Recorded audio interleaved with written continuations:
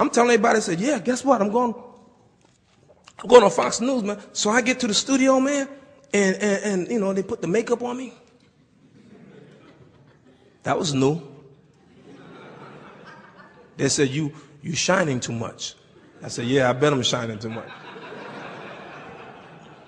So man, I mean, I mean, really, I'm saying it didn't even hit the thing yet. I'm about, I'm about to sit, didn't even hit the thing yet.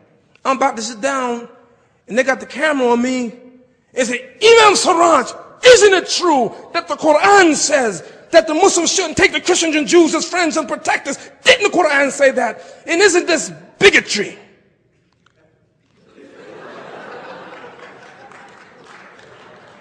I thought you wanted me to talk about what I was doing. Now, this is an attack on the Quran. Not a problem. We can defend the Quran. It's the word of Allah. Allah honored me to say something on behalf. Allah don't need me. Allah honored me on behalf of him to say something about the Quran. I said the problem is you don't know the Quran and you don't know Arabic and you take things out of context. How dare you? And people do this and it's sickening. You take a book, 114 chapters, that was revealed in, in, in 23 years, you have the audacity to take a verse out of it, out of context, throw it out there, no explanation, no nothing, and you weren't after me, you were after those millions of people that were listening and watching to say that, see, you see what, see how Islam is against Christians and Jews. And I said, well, since you asked, let me tell you something.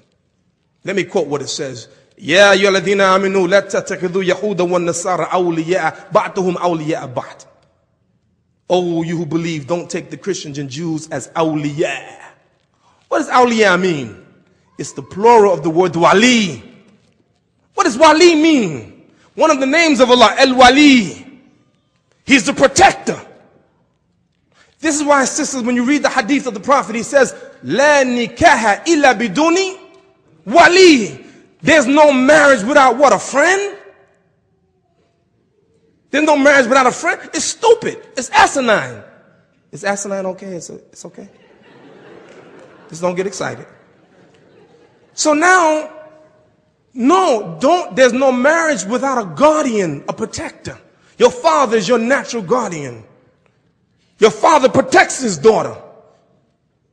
That's what the, that's what, that's what the hadith is saying. Now, now, listen.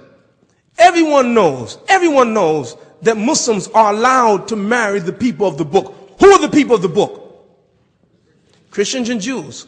Think about this. Allah saying in the same Quran, you permitted to marry the people of the book. So what are you saying? You can marry them, but don't be friends to them.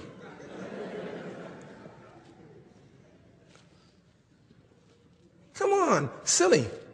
It's silly.